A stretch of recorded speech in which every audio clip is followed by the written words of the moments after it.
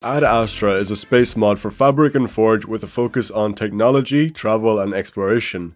It has everything needed to become an astronaut, including rockets, spacesuits, and space vehicles. So, let's begin.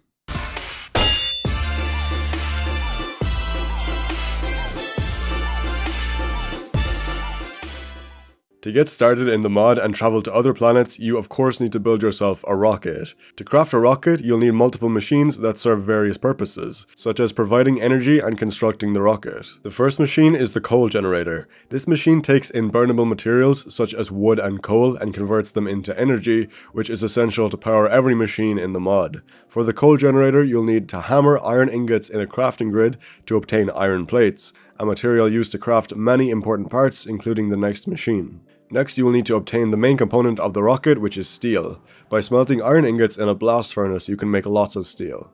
The next machine is the compressor, which is essential to form these steel ingots into steel plates, which are the main component of the Tier 1 rocket. To power multiple machines without placing them next to the coal generator, you can craft steel cables allowing you to transfer energy from a distance. For actually assembling the rocket, you need to create a NASA workbench, once it is crafted, you can start the construction of your very first rocket. There are four different tiers of rockets and we'll be starting with tier 1. For the top we need a nose cone, 6 steel blocks, 4 rocket fins, 2 steel tanks and the engine, which is crafted using steel plates, a steel frame and a steel fan. Now we have our first rocket. Now we need to launch the rocket so we will need a launch pad. Place the launch pad on the ground and then place the rocket in the center.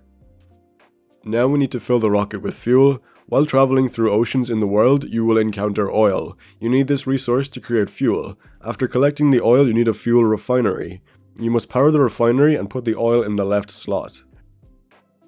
Now you can collect the fuel and then shift right click the rocket to open its menu. You must place 3 buckets of fuel into the rocket and don't forget to place 3 additional buckets in the rocket storage space for your trip back to Earth from whatever surface you land on. I don't recommend launching just yet because you do require oxygen to breathe on other planets and our first destination which is the moon. Therefore we need a spacesuit and an oxygen supply. So we craft a space helmet, space pants, space boots and a chest plate which is a little bit more difficult to craft. For this item we need two oxygen tanks and oxygen gear. So now we need oxygen, which has to be extracted from water. For this process, you need an oxygen loader, connect this block to a power source and then access it. Place water in the left tank and wait until it's converted into oxygen. This process has to be repeated until you have enough oxygen for your journey.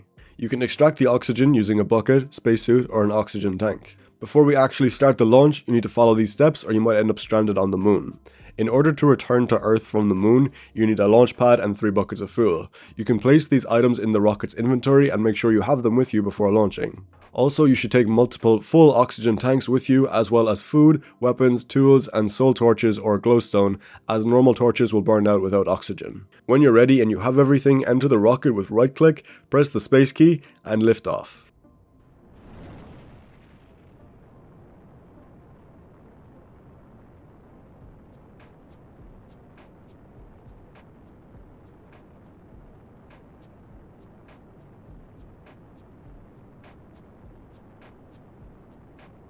You will enter a menu where you can choose your destination. For a tier 1 rocket, you can only pick the Earth or the Moon.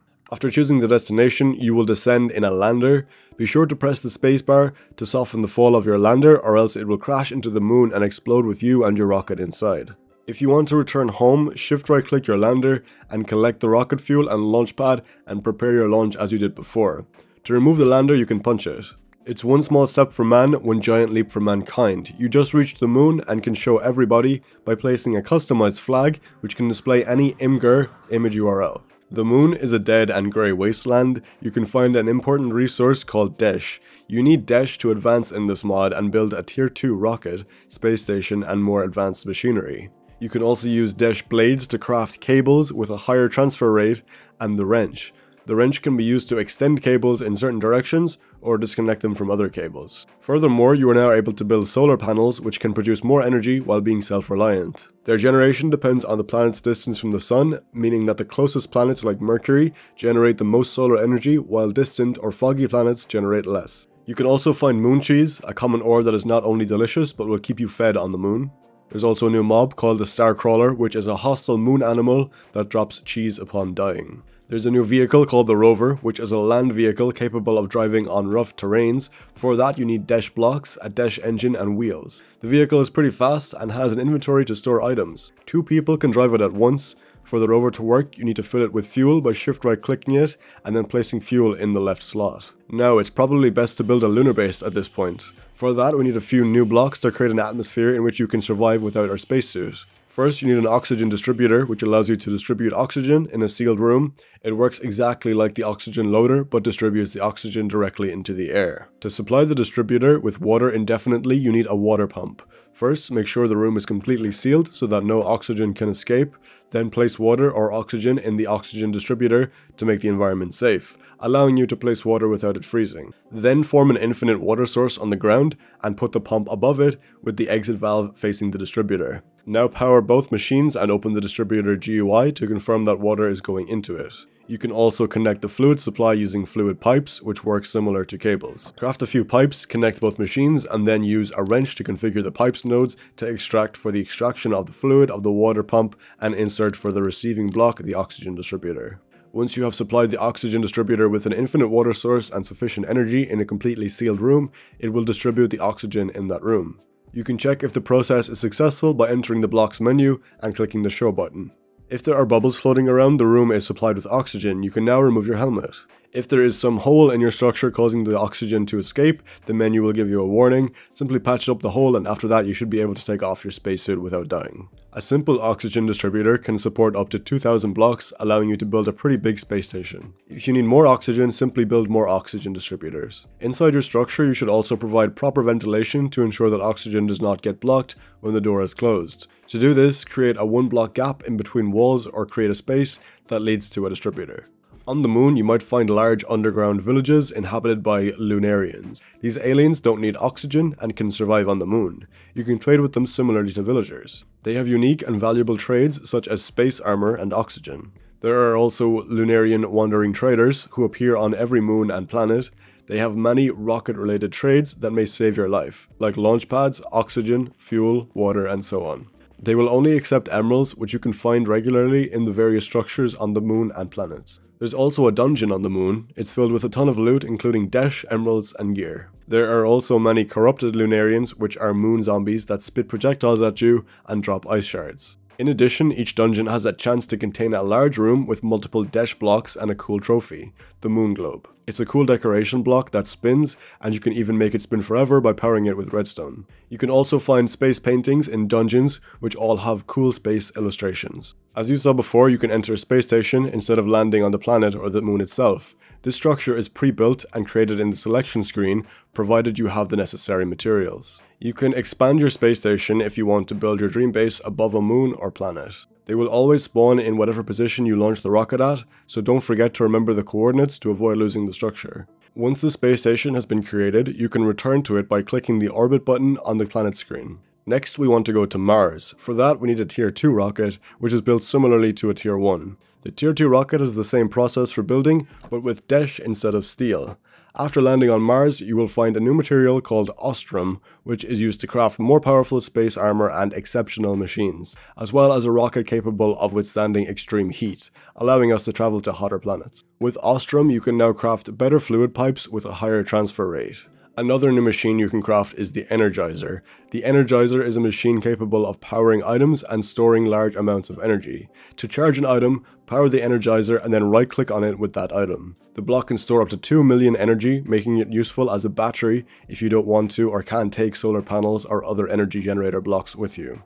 The block also retains its energy when broken, allowing you to carry it in item form without losing its energy contents. Furthermore, you can craft an oxygen sensor, which gives out a redstone signal if it detects oxygen. This is pretty useful if you want, for example, to have a control room and check your station's oxygen supply. There's also a new fuel production method called the cryo freezer. This machine can produce a better fuel called cryofuel, which is more efficient than normal fuel, allowing you to launch significantly faster and with just one bucket. You can create it by mining ice shards, which are found as an ore on the moon and Mars. Insert these shards into a freezer, and it will convert them into cryofuel. Alternatively, you can convert ice, packed ice, and blue ice into normal fuel. Cryofuel also has some additional features like damaging anything inside, similar to lava when placed down. Furthermore, it freezes water, allowing for an infinite ice source. On Mars, you can find Martian raptors, which deal damage with melee attacks. To get to the next planet, you'll need some protection from the extreme heat. You need to craft a rocket capable of surviving the heat, along with a powerful netherite spacesuit that will protect you from these elements. The netherite spacesuit is an upgraded version of the normal spacesuit, featuring fire resistance, more protection, and the ability to survive on Venus and Mercury. Before you travel to Mercury or Venus, you need to equip the suit, otherwise you'll burn. Now you need to craft a tier 3 rocket. This process is just as before, but this time using Ostrum. You can now land on Venus, a burning planet with nether-like features, and the most powerful ore in this mod is calorite. This will enable us to build the tier 4 rocket capable of travelling to a new solar system. Underground you will find a new and dangerous mob, the Sulfur Creeper. These are much faster than Earth Creepers. They will consume part of your oxygen supply if you are damaged, making it easy to run out of oxygen if you are not careful. On the Venus surface, you will find many nether-inspired mobs, such as Pygros and Moglers. These are stronger variants that are built to survive the extreme heat of Venus. Venus also has multiple structures that feature loot, such as netherite. We can now build the strongest spacesuit, the jet suit. This is an upgraded version of the netherite spacesuit, giving you more protection, additional oxygen storage, and the ability to fly. It is quite expensive, but offers you the ability to fly at high speeds and is really useful. There are two modes, ascending by pressing space, which will make you fly upwards, and boosted by pressing space and sprint, which is similar to flying with an elytra that is constantly being propelled by fireworks. In order for your suit to fly, you need to charge it with energy using the Energizer. You can also visit another planet from the solar system using your tier 3 rocket, and that's Mercury. This planet is currently pretty empty with limited mobs and no structures, however solar panels produce the most energy here as they are the closest to the sun, allowing you to build an energy efficient base. Once we have found enough calorite, we can build a tier 4 rocket and leave the solar system. The first planet we will head to in Proxima Centauri is Glacio, a brutally cold planet with oxygen, allowing you to survive there without a spacesuit. Here you can find a mob called the Glacian Ram. This is an animal that can be sheared and milked for permafrost. This is the end of the Ad Astra base progression. There are also data packs available to add more planets into your game if you're still craving adventure. That will do it for Ad Astra. The mod is available to download in the description. Thank you for watching and take care.